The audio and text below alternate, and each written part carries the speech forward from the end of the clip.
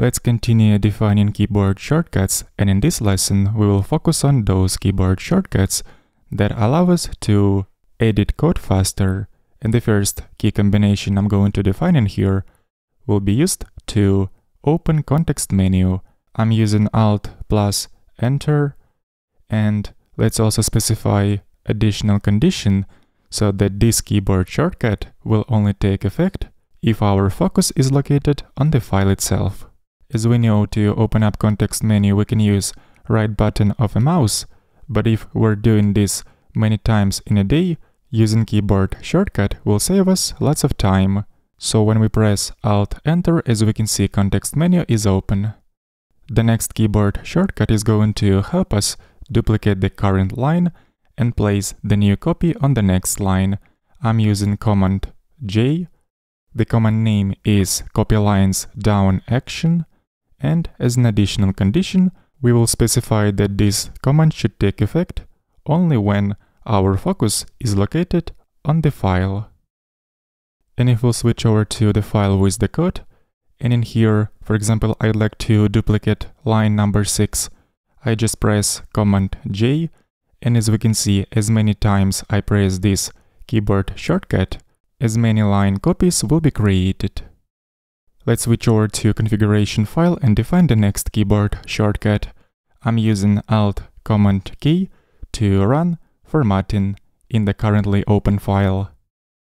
The command name will be format document, and as for additional condition, here will be a pretty long condition, so I'm not going to explain every piece of this condition in detail, but the main idea of this condition is to restrict usage of this keyboard shortcut only when our focus is located on the file itself, just like previous two keyboard shortcuts.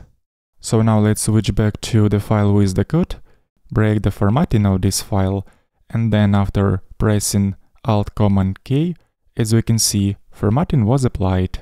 Moving on, and the next keyboard shortcut will be Command MW, and for this set of keys, I'm going to bind the following command wrap with abbreviation. This is the command of the Emmet plugin, which allows us to quickly type in HTML markup.